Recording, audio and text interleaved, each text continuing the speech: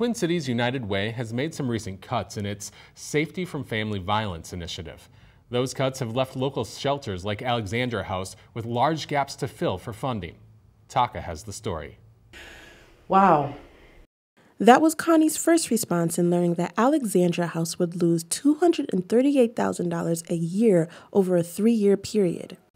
We expected that we might get a reduction in our funding, knowing that there had they had this shortfall they were dealing with, and we had been notified that there were we were going to be having a conversation.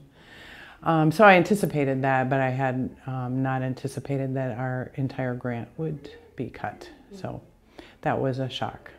The cuts stem from the Greater Twin Cities United Way's decision to end its Safety from Family Violence initiative, which helped fund shelter like Alexandra House right here in Blaine. If those funds aren't replaced, Alexandra House may have to face some tough decisions. If we're not able to um, fill that funding gap, we'll be looking at um, how do, you know, are we going to need to eliminate positions, which means eliminating services? Because as, an, as a service agency, our, the majority of our budget is salaries for staff who provide services to those who need our help. And Alexandra House services go beyond the shelter, reaching over 22,000 people a year.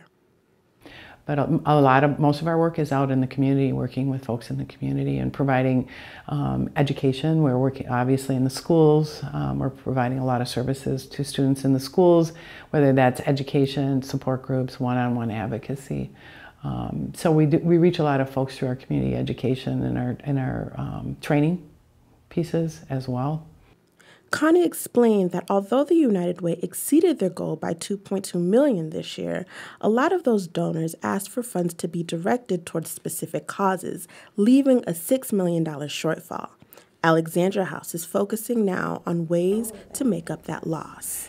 No, I think it's just really important for the community to know whether that's individuals, you know, local businesses, corporations, um, local government, um, we're facing this, this loss, um, a significant loss of funding, and we're looking to our community um, for help in filling that gap, and um, we're here.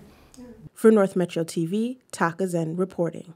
Alexandra House is still looking for various ways to replace the loss and says community members can help with volunteering and donations.